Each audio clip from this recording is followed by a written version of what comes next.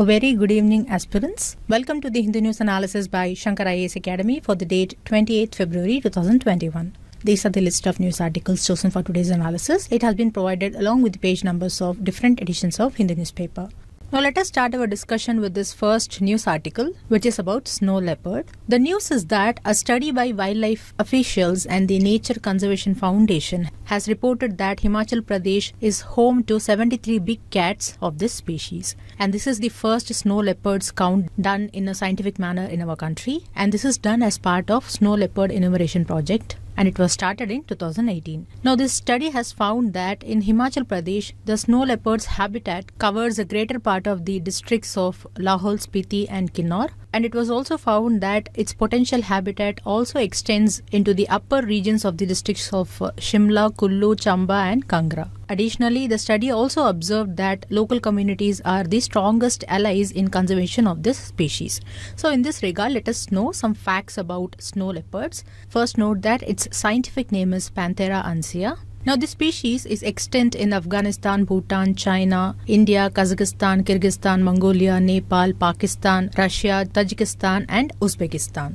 And particularly in India, snow leopards are found in high altitude cold mountainous regions. They are found in the mountainous areas at elevations from 540 meters to even more than 5000 meters. In India, we can see snow leopard in six regions in the Himalayan region, and these regions are Jammu and Kashmir, Ladakh, Himachal Pradesh, Uttarakhand, Sikkim, and Arunachal Pradesh. Also note that snow leopard is the flagship species of conservation in the Indian Himalayas. See, a flagship species is a species that is selected to act as an ambassador or an icon for the defined habitat. This is to campaign with respect to environmental cause. Now, the conservation of this flagship species improves the status of many other species which share the same habitat that of the flagship species. Now, let us see some of its characteristics. The snow leopard is most active at dawn and dusk. Also note that it is the apex predator of its ecosystems and therefore it sits at the top of the food web. Thus it is also the top predator of the Indian Himalaya. Also note that the primary wild ungulate prey of snow leopards are blue sheep and ibex. Ungulate means hoofed animals. And this study, which was conducted in Himachal Pradesh, found that the density of snow leopard population was positively correlated with the wild prey density. So, this indicates that higher wild prey densities correspond to higher snow leopard densities.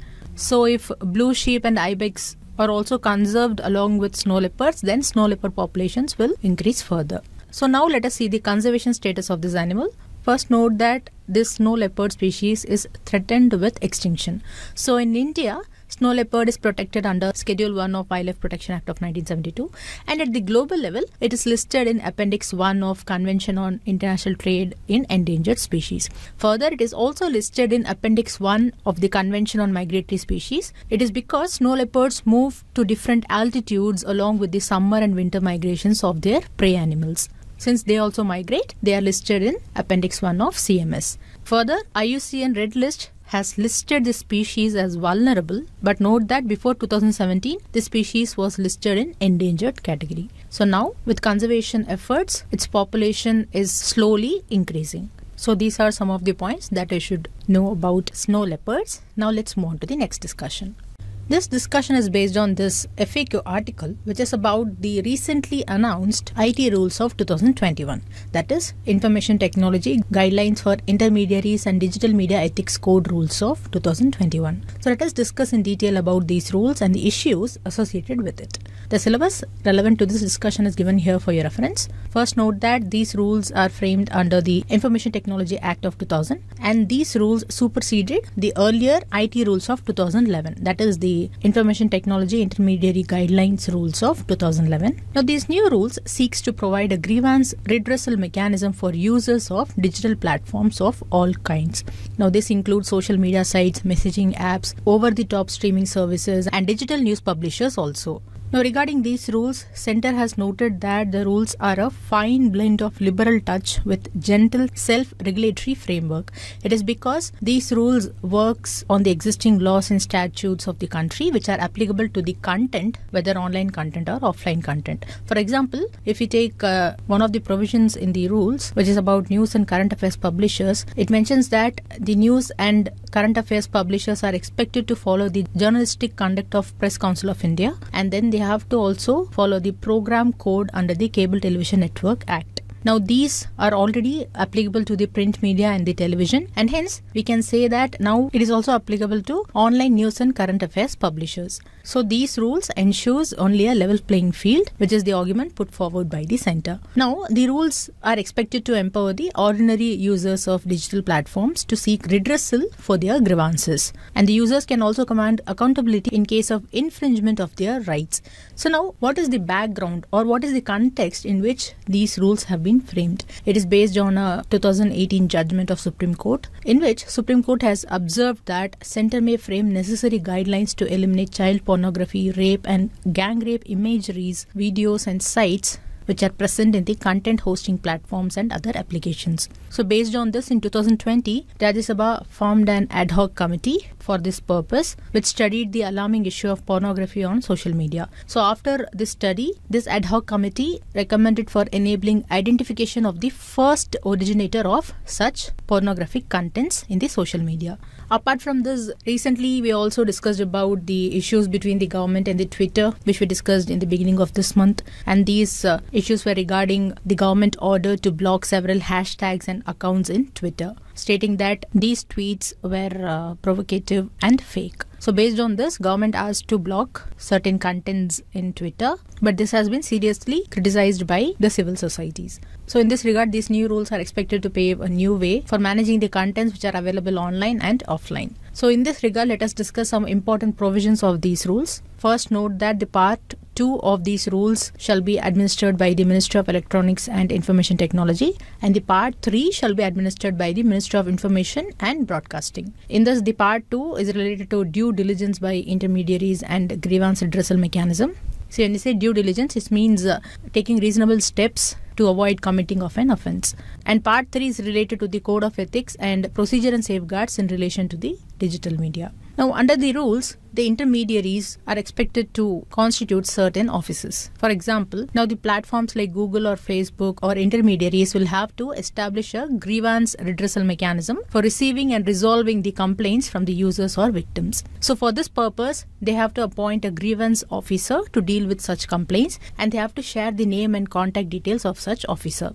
Now, this grievance officer has to acknowledge the complaint within 24 hours and have to resolve it within 15 days from the receipt of that complaint. Then, secondly, they have to also appoint a chief compliance officer, and this officer will be responsible for ensuring compliance with the IT Act and rules. And such a person who will be appointed as a chief compliance officer should be a resident in India. Then thirdly, they have to also appoint a nodal contact person and this person will be for uh, 24 into 7 coordination with the law enforcement agencies. And such a person should also be a resident in India. Now, in addition to appointing of these officers, the intermediaries are also required to publish a monthly compliance report and this report should mention the details of complaints that were received and the action taken on such complaints. Then most importantly, there is a provision for the identification of the first originator of the information. According to which the significant social media intermediaries who are providing messaging services they have to enable identification of the first originator of the information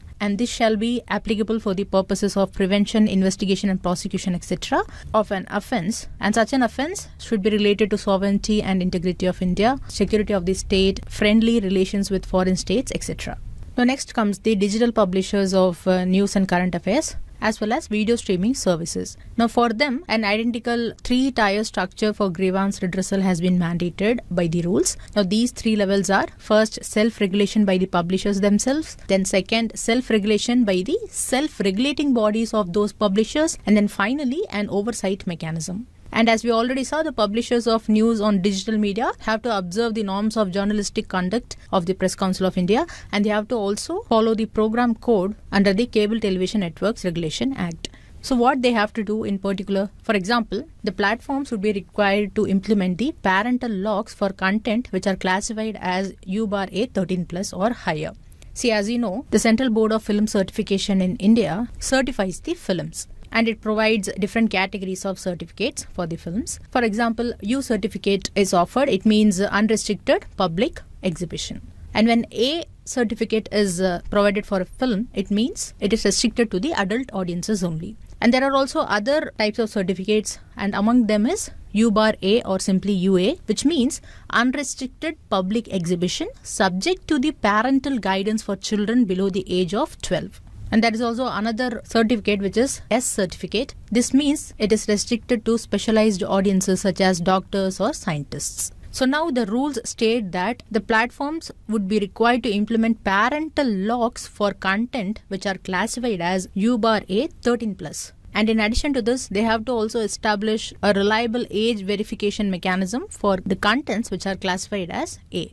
Now, based on these provisions, the author of this FAQ article has mentioned that the 2021 rules are tighter than the 2011 rules, which it replaced. For example, the present rules also regulate the digital news publishers and streaming services, which was not done in the 2011 rules. So, in this regard, many criticisms have been raised against the rules. Now, let us see what are these criticisms. See, we have discussed about the three level grievance redressal mechanism. Now, the criticism is that now this will necessitate oversight or supervision by a government committee at the highest level. So, any grievance that does not get satisfactorily solved at the self regulatory levels, they will get escalated to the government panel. And this has been criticized as excessive government control over the digital news and OTT content. Now, the next criticism is with respect to the identification of first originator. Now, the rules clearly mentions that in complying with an order for identification of the first originator, no significant social media intermediary shall be required to disclose the contents of any electronic message or any other information related to the first originator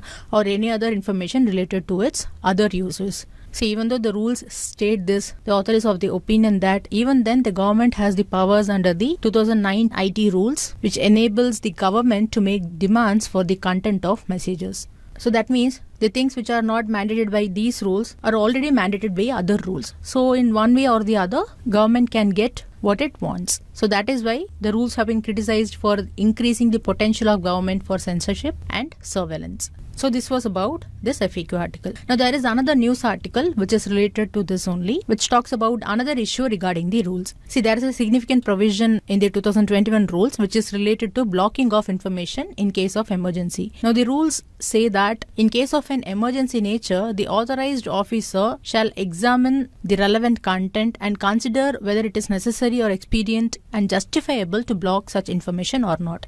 And this has to be done without any delay. And further, in case of an emergency, the Secretary of Ministry of Information Broadcasting may block such content if the Secretary is satisfied that it is necessary and justifiable for blocking for public access of any information. So here the involvement of uh, Secretary of Ministry of uh, Information and Broadcasting has been widely criticized and for this the Information and Broadcasting Ministry has mentioned that this provision is not a completely new provision. Here the government is arguing that a similar power is already being exercised by the Secretary of Ministry of Electronics and Information Technology under the 2009 rules. See, under the 2009 rules, the Secretary of Department of uh, Information Technology, which is under the Ministry of Information Technology, can give directions for blocking of any information from public access if she deems necessary. So, a similar power is now given to the Secretary of information and broadcasting also. So based on this, government is arguing that already there is government control regarding these issues. Now this has been also extended to another ministry only. But we can see that this is just excessive government control over the digital news and OTT contents. So we can say that next to the farm laws, these rules are being widely criticized. So let us wait and see what happens next. So from this discussion, you can take note of the important provisions of these new IT rules and the issues in these IT rules. Now let's move on to the next discussion.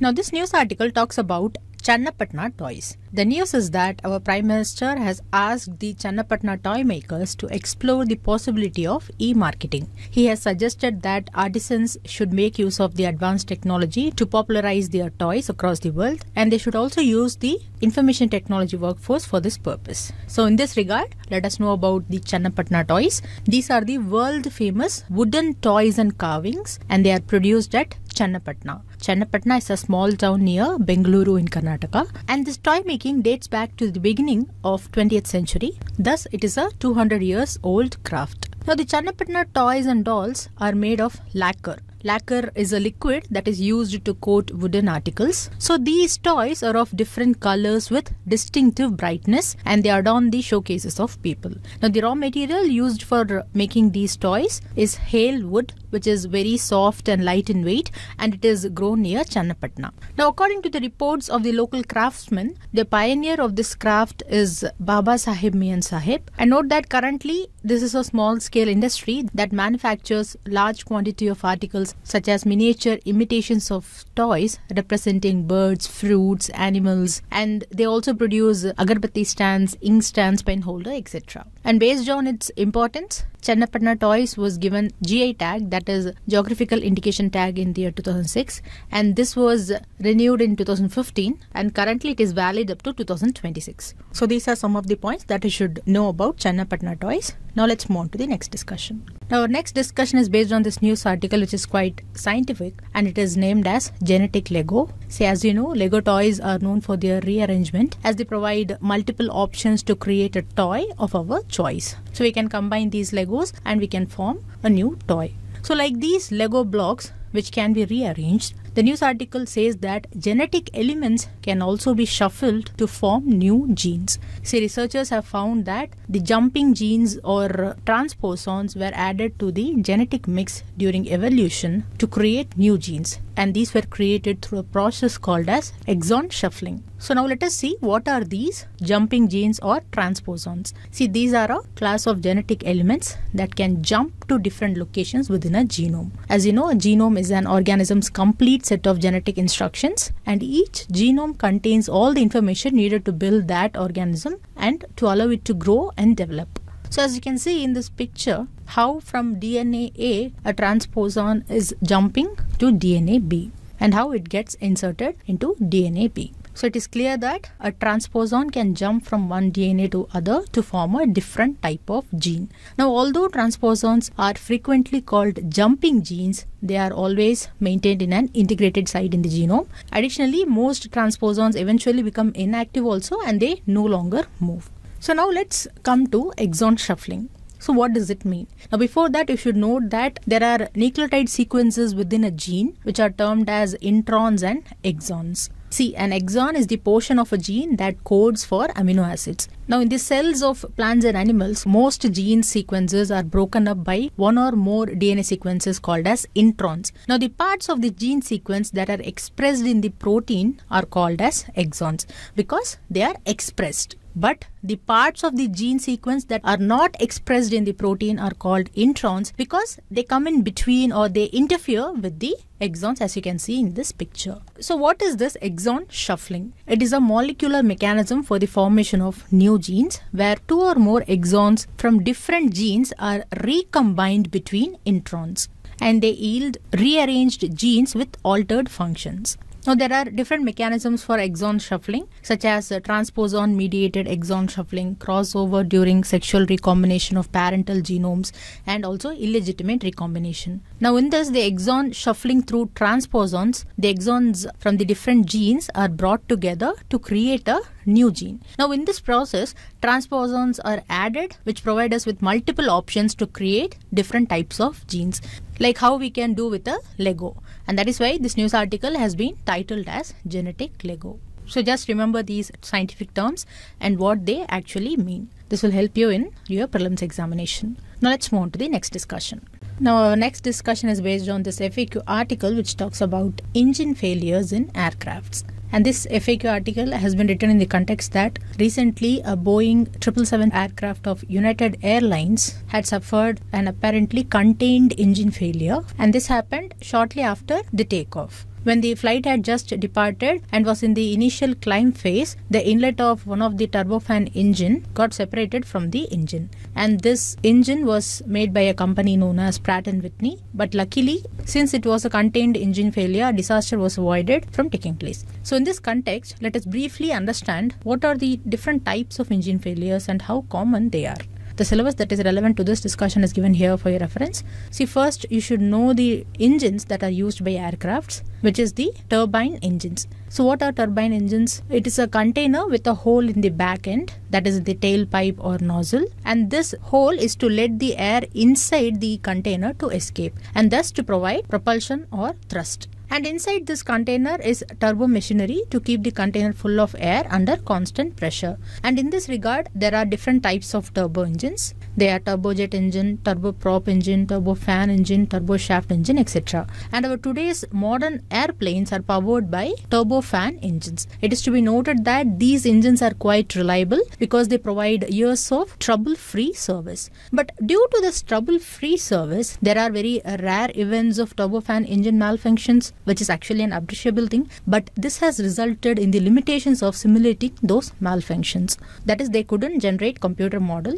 depicting these malfunctions. And because of this, many flight crews have felt unprepared to diagnose such engine malfunctions that have so far occurred. And this is a serious issue because if the crew is unable to manage the engine malfunctions, then it could lead to a serious disaster. So, now what are the different kinds of engine failure? Even in the beginning, we saw that the Boeing aircraft suffered a contained engine failure. So this is one type that is contained and the other type is uncontained engine failure. So now what is contained failure? See turbine engine failures are most often contained. Here this term means that even if components of the engine disintegrate or separate inside the engine, they either safely remain within the engine case or they exit the engine via the tailpipe as intended by the engineers of the aircraft because they have set up this tailpipe for this purpose. And here it is to be noted that this is a standard design feature of all turbine engines. So here the desired outcome is that the failure of a single engine on a multi-engine aircraft will not present an immediate risk to the safety of the occupants or it shouldn't pose a risk to the aircraft. But still, there are certain risks involved in this. The risks depend on the sizable pieces of ejected debris from the tailpipe because it may present a hazard to the persons on the ground because once it is ejected from the tailpipe of the aircraft, it will fall to the ground only. Now, the second type of engine failure is the uncontained engine failure.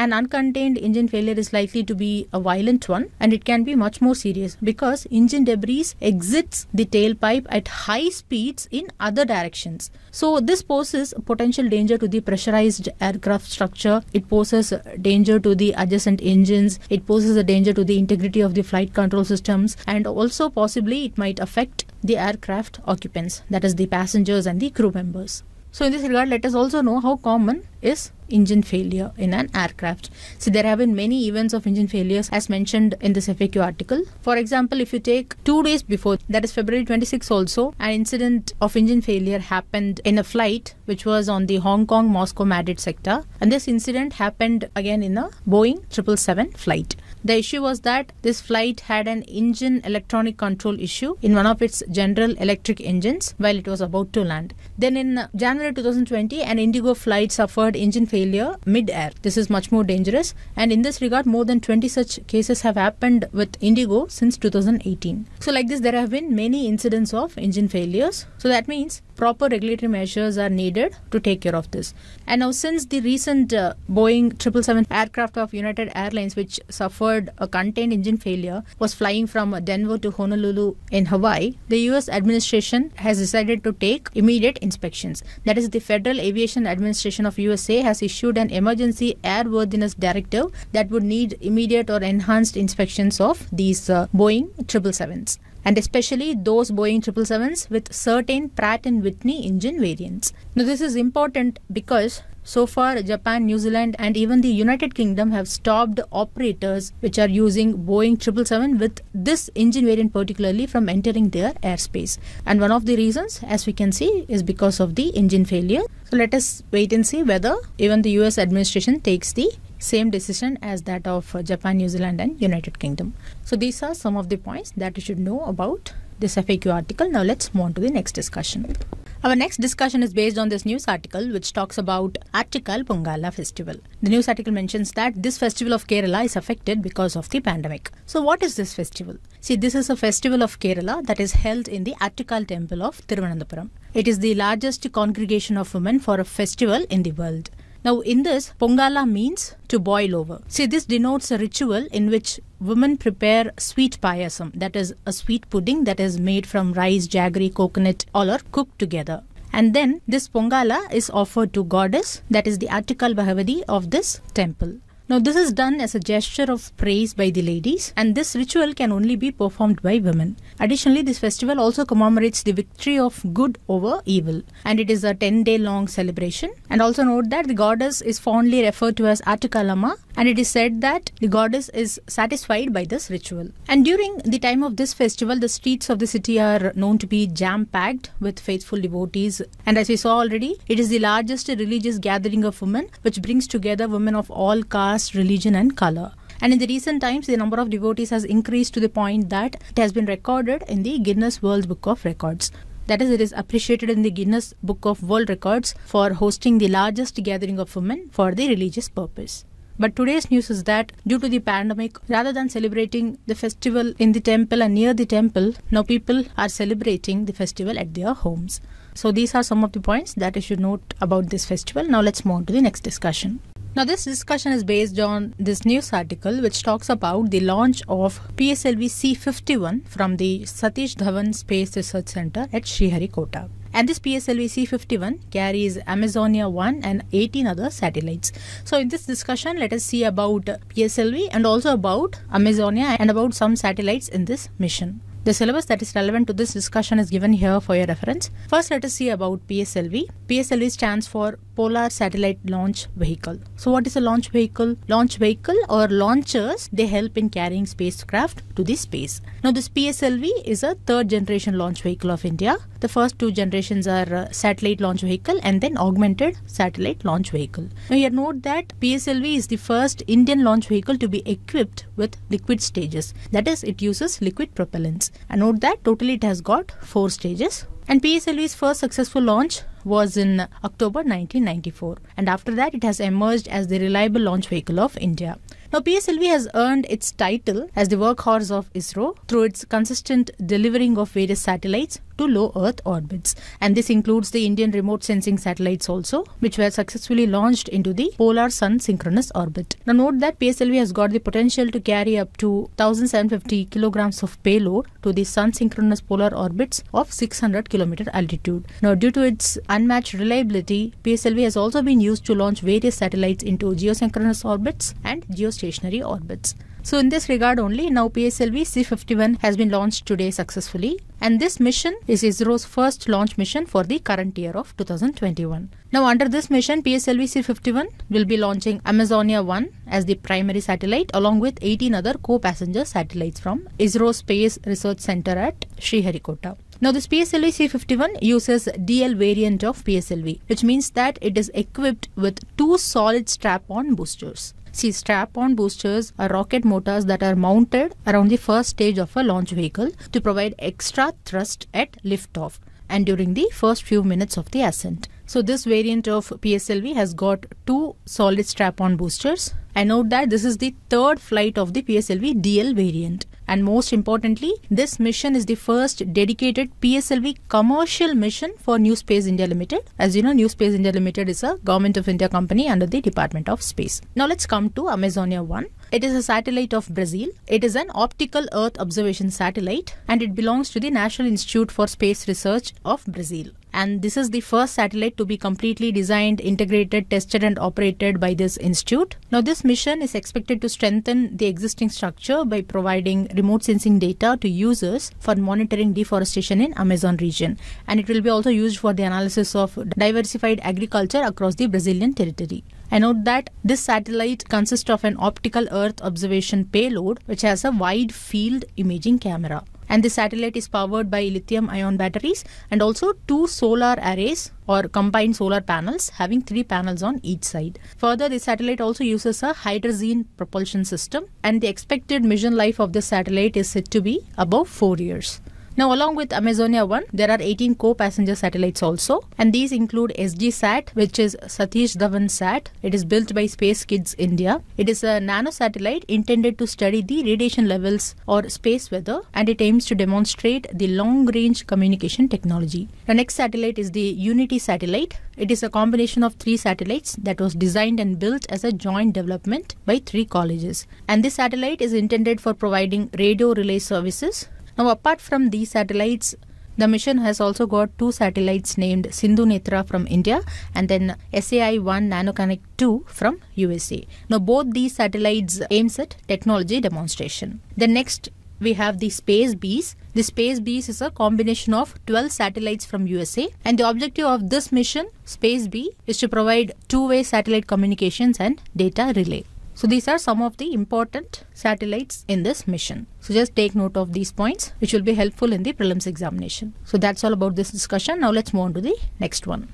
Now moving on to our next discussion which is based on this article which in detail discusses about International Atomic Energy Agency that is IAEA. So in this discussion let us see about this agency. CIAEA was created in 1957 in response to the deep fears and expectations that were generated by the discoveries and diverse use of nuclear technology. So, IAEA has been given the mandate to work with its member states and multiple partners worldwide to promote safe, secure, and peaceful nuclear technologies. And in this regard, International Atomic Energy Agency is the world's central intergovernmental forum for scientific and technical cooperation in the nuclear field. It works for the safe, secure, and peaceful uses of nuclear science and technology, and by this, it contributes to the international peace and security and also to the sustainable development goals. Now, note that it has been established independently of the United Nations through its own international treaty, but even then, the agency reports to both the UN General Assembly and the UN Security Council. Now, IAEA is often in news because of the Iran nuclear issue. On 23rd February also we have discussed IAEA's role in getting the access to Iran's nuclear location for 3 months through a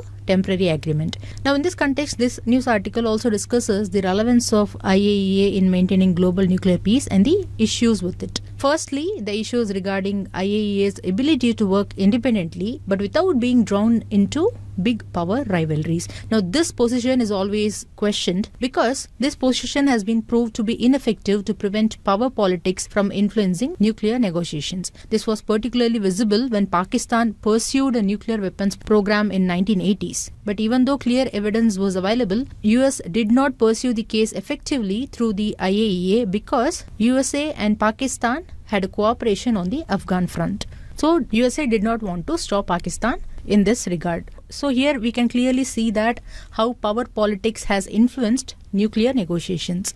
Now the next issue is with respect to IAEA's lack of enforcement capability. Now this is often termed as uneven authority because IAEA does not have any power to override the sovereign rights of any member nation of the United Nations. See, this uneven authority has sometimes been advantageous also like in the case of Iran. If you see, this uneven authority has provided results when the agency's efforts were backed by big powers in the case of Iran. But this is not the same in case of North Korea because North Korea was supported by China and Russia, so IAEA could not do anything. Then another major criticism of IAEA is that it never challenges the nuclear dominance of the five permanent members of UNSC. And these are the China, France, Russia, United Kingdom and United States. Further, there were also controversies in the case of inspection of Iranian nuclear installations when Iran had accused IAEA of sending intelligence operatives who were actually engaged in espionage against the interest of Iran. Now, this allegation also hinted that IAEA inspectors and observers had shared information about Iran with US government. But apart from all these, the immediate trouble for IAEA is with Iran's nuclear program only because Iran made it clear that unless USA lifts the sanctions, it won't stop the nuclear enrichment. But under the current new administration of USA, that is under President Joe Biden, it has been already hinted that USA may rejoin JCPOA with Iran. Thus, IAEA is expected to play a crucial role in bringing both US and Iran together to broker peace deal which ultimately stops nuclear enrichment of Iran. So these are some of the points that you should take note about IAEA and the role played by it in maintaining global nuclear peace. Now let's move on to the next discussion.